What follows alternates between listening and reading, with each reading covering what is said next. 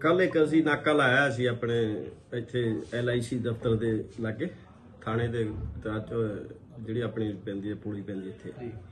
ਨਾਕੇ ਦੇ ਇੱਕ ਐਕਟਿਵਾ ਆਈ। ਐਕਟਿਵਾ ਤੇ ਇੱਕ ਮੁੰਡਾ ਸੀ ਇੱਕ ਕੁੜੀ ਸੀ ਉਹਦੇ ਨਾਲ ਉਹਦੀ ਭੈਣ। ਤੋਂ ਰੋਕੇ ਤੇ ਰੋਕ ਕੇ ਉਹਨਾਂ ਨੂੰ ਤਲਾਸ਼ੀ ਲਈ। ਤੇ ਉਹਨਾਂ ਦੇ ਕੋਲੋਂ ਕੁਝ ਚਿੱਟਾ ਬਰਾਮਦ ਹੋਇਆ। ਉਹ ਤਲਾਸ਼ੀ ਤੋਂ ਬਾਅਦ ਚਿੱਟੇ ਦੇ ਫਿਰ ਚੈੱਕ ਉਹਨੂੰ ਪੁੱਛਿਆ ਵੀ ਕਿੱਥੋਂ ਲਿਆਏ ਹੋ ਕਿ ਇਹ ਵੀ ਫਿਰ ਉਹਨਾਂ ਦੇ ਨਾਲ ਲੈ ਕੇ ਉਹਨਾਂ ਨੂੰ ਉਹਨਾਂ ਦੇ ਘਰ ਰੇਡ ਕੀਤੀ। ਠੀਕ ਹੈ। ਘਰੋਂ ਵੀ ਫਿਰ ਉਹਨਾਂ ਦੇ ਹੋਰ ਚਿੱਟਾ ਬਰਾਮਦ ਹੋਇਆ। ਘਰ ਉਹਦਾ ਪਿਓ ਵੀ ਨਾਲ ਹੀ ਵੇਚਦਾ ਸੀ। ਠੀਕ ਹੈ। ਦੋਨੇ ਇਹ ਸੀ ਭੈਣ ਭਰਾ ਸੀ ਦਾ ਪਿਓ ਉਹ ਘਰੋਂ ਵੇਚਦਾ ਸੀ। ਘਰੋਂ ਵੀ ਫਿਰ ਉਹਦੇ ਕੋਈ ਚਿੱਟਾ ਬਰਾਮਦ ਕੀਤਾ ਸੀ। ਠੀਕ ਹੈ। ਸਰ ਕਿੰਨਾ ਟੋਟਲ ਬਰਾਮਦ ਹੋਇਆ? ਇਹ 75 ਗ੍ਰਾਮ ਹੋਇਆ ਜੀ ਟੋਟਲ ਸਰ ਕੋਈ ਨਕਦੀ ਬਰਾਮਦ ਹੋਈ?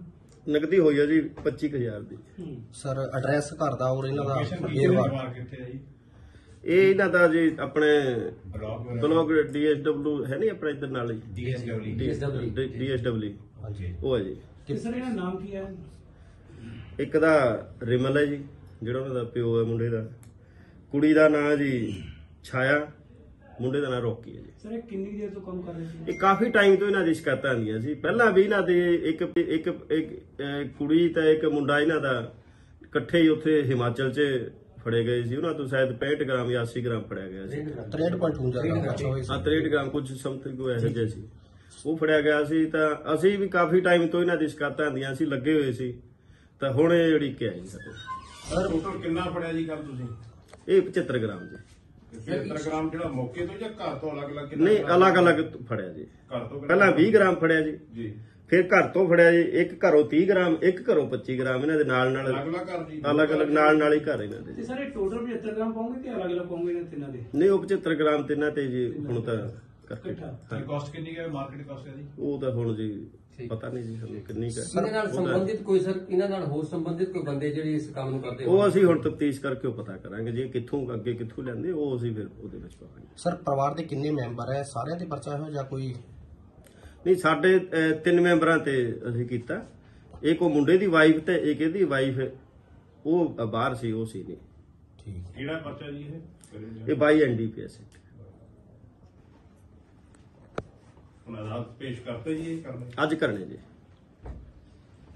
ਕੋਈ ਪੁੱਛਤਾਛ ਕੋਈ ਸਾਹਮਣੇ ਆਈ ਜੀ ਫਿਲਹਾਲ ਕੋਈ ਜਾਂ ਇਹ ਹੁਣ ਪੁੱਛਤਾਛ ਪੁੱਛਤਾਛ ਕਰਾਂਗੇ ਜੀ ਕੋਰਟ 'ਚ ਪੇਸ਼ ਕਰਕੇ ਹੈ ਰਿਮਾਂਡ ਲੈ ਕੇ ਉਮੀਦ ਫਿਰ ਹੈ ਕੋਈ ਜਗ੍ਹਾ ਹੋਰ ਬਰਾਮਦ ਕੀਤੀ? ਦੇਖੋ ਜੀ ਇਹ ਤਾਂ ਹੁਣ ਪੁੱਛਗਿੱਛ ਤੋਂ ਹੀ ਬਾਅਦ ਪਤਾ ਲੱਗੂ ਜੀ। ਸਰ ਇਸ ਤੋਂ ਪਹਿਲੇ ਵੀ ਕੋਈ ਮਾਮਲੇ ਦਰਜ ਹੈ ਇਹਨਾਂ ਦੇ ਉੱਤੇ ਕਿਉਂਕਿ ਕਾਫੀ ਲੰਬੇ ਸਮੇਂ ਤੋਂ ਚਰਚਾ ਸੀ। ਇੱਕ ਉਹ ਮੁੰਡੇ ਦੀ ਵਾਈਫ ਤੇ ਇੱਕ ਇਹਦੀ ਵਾਈਫ ਉਹ ਬਾਹਰ ਸੀ ਉਹ ਸੀ ਨਹੀਂ।